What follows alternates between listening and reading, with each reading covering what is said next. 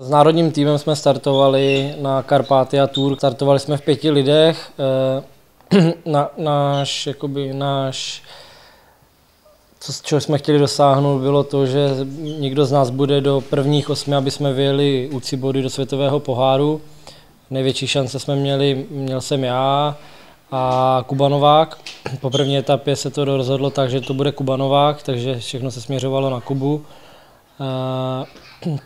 Celý závod vlastně jsme se točil kolem nás, protože soupeři si hlídali nás. Všechno jsme uhlídali a poslední den byl cíl na Kohůce, na hraničním přechodě, kde jsme chtěli vyhrát tu etapu a chtěli jsme se posunout, chtěli jsme Kubu Nováka posunout do, na první místo celkové klasifikace.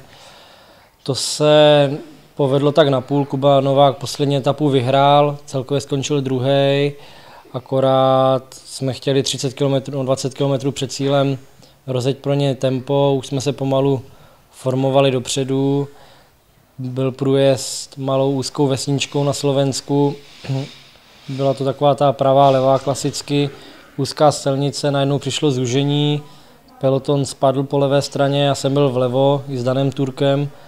A najednou vidím, jak se to přede mnou otvírá, ten peloton a škrtl jsem si vlastně řídítkama o zábradlí u mostu, které bylo takový porezlý, takový to starý, bez těch, bez těch, eh, bez těch zábran jakoby zakroucených, abyste se o to nenapíchli a já jsem si škrtl a nohou jsem si lízl o, o to zábradlí, nohu jsem si napíchl na zábradlí a hlavou jsem se bouchl do mostu a rozsekl jsem si vlastně helmu a hlavu.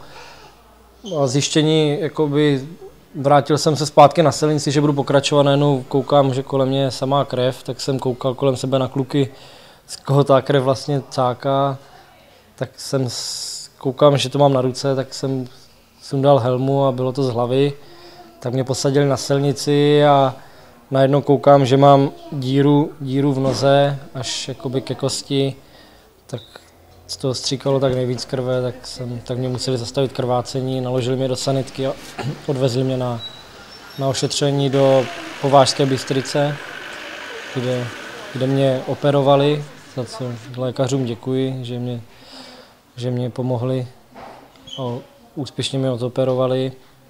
A vlastně dneska v úterý 8. 8. 5.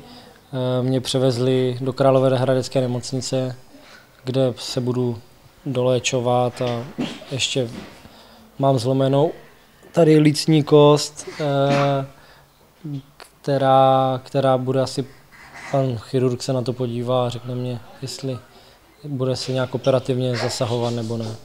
No při pádu spadlo si myslím tak 30 lidí, bylo to nepříjemný, jak jsem říkal, najednou začalo to padat. A já jsem si říkal, já vždycky jezdím Ukrajinice při závodě, abych padal do měkkýho a najednou vidím, najednou vidím sraz dolů a tam byla řeka, tak si říkám, nechci spadnout do řeky, tak jsem s kolem najel trochu doprava, abych spadl do, lidí, do lidí.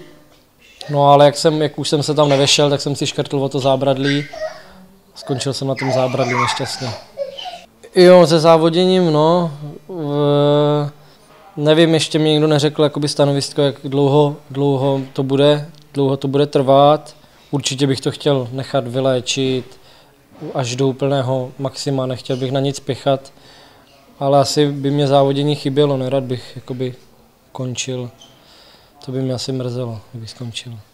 No, mistrák, nevím, jestli ho stihnu, pro mě zdraví přednější než, než, než mistrák.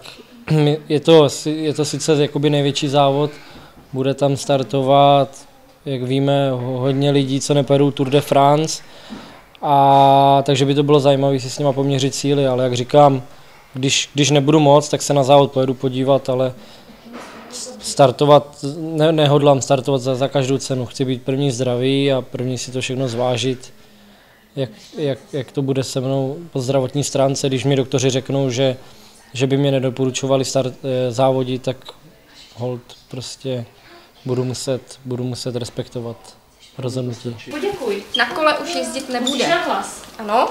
Jak řekne.